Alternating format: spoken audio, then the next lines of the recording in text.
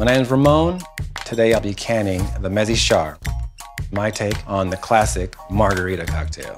It's just shorthand for mezcal and chartreuse, something I came up with at a craft cocktail bar I worked at. After the end of the shift, the staff, we would, you know, have our little shift drink and we would just take mezcal and chartreuse and make these little shots. And it was such a social aspect and everyone just loved them. And that's basically how it spawned.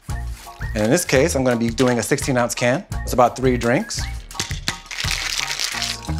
All right, we're gonna can this bad boy. You know, at a bar, you have a finite number of seats.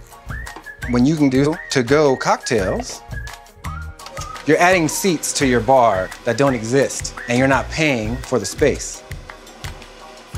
And in basically four steps, you just gave three people a cocktail. A tiny place can turn into a, you know, a hundred person You can batch these up, you can have them ready to go. That's more tips for your bartender. This is a great opportunity for the guest and the bar. So yeah, that's the Mezzy Char, man. In a can.